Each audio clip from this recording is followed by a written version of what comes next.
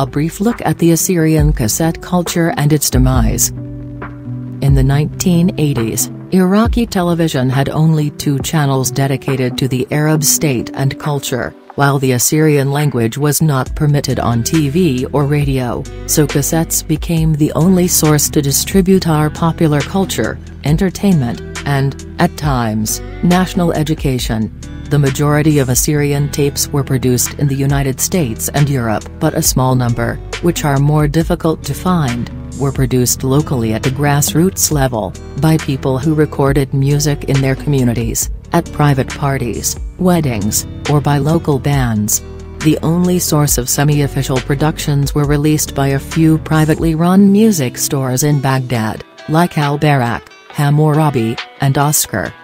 Since most Assyrian tapes in the Middle East were bootlegs, obtaining the original Assyrian cassettes at that time was nearly impossible, and if you had managed to do so, you quickly became popular among your friends, and that only happened if you had a cousin visiting from overseas who was able to smuggle in one or two cassettes without them being confiscated at the border, since the Iraqi government had banned most Assyrian singers, on numerous occasions, you would purchase a new cassette album of a specific singer from your local music store, only to discover later that the songs on the tape actually belonged to a different singer, and this was apparently done to either avoid problems with the authorities by selling a banned singer, or simply because the music store owner made a mistake because probably all he got was a bootleg copy with no details of the singer.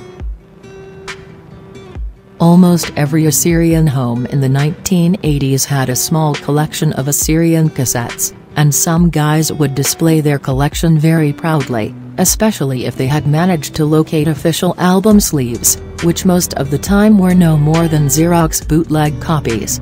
And we quickly learned one thing never lend your original tape to anyone, especially if the cassette shells are the screwed-on type and not welded, because the borrower had the ability to swap out your original reels for a copy and screw back the tape shells without your knowledge.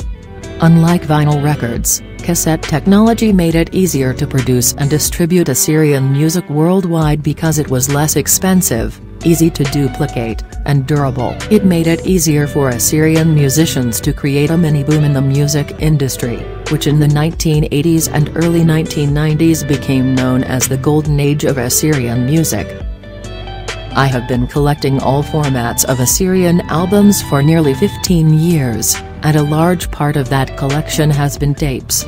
On a couple of my overseas trips, I was lucky enough to still find vintage Assyrian cassettes that had survived the country's many wars and devastation. I remember meeting a music store owner who had moved his entire stock from Baghdad to Erbil. At the front of his shop, he was only selling CDs, but when I asked him if he had any cassettes, I could tell he was surprised that a customer in 2016 was asking for tapes, so I asked if I could check them out and told him I would be buying so he knew I wouldn't be wasting his time, and he agreed to let me into his storage.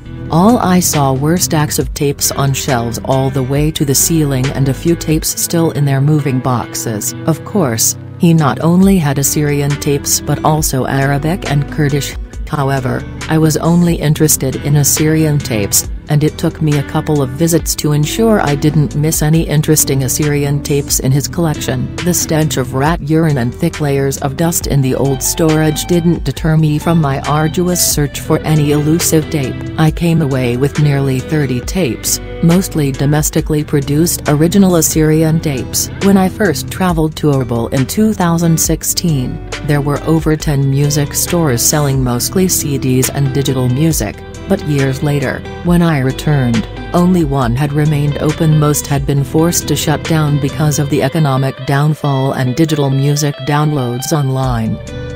But unfortunately, I wasn't always able to get access to known collectors and their collections. When I visited a famous collector in Iran, he told me that he was busy and couldn't make more time for me to check out his collection, so I only managed to take a few photos. He told me I should come back later that week, but I was leaving the same week and never had the time to go back and check out his collection. Other collectors from around the world are either unfamiliar with how to digitize their collections or are unwilling to share what they have collected.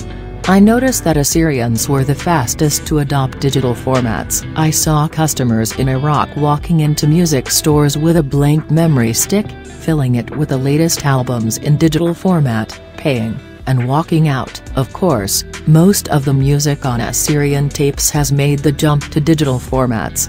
But not everything, especially those songs that were never issued on tapes in the first place, especially those made for Assyrian radio segments in Iran and Iraq in the mid-1960s to the beginning of the 1970s. Nowadays, almost no one owns cassette tapes, and the vanishing music stores are a warning sign of the end of physical copies. What remains is mostly in the hands of collectors or kept by a few people for nostalgic reasons. And these surviving tapes are now a passage into an irretrievable time and space in Assyrian popular culture. By Moneer Cherie, 2022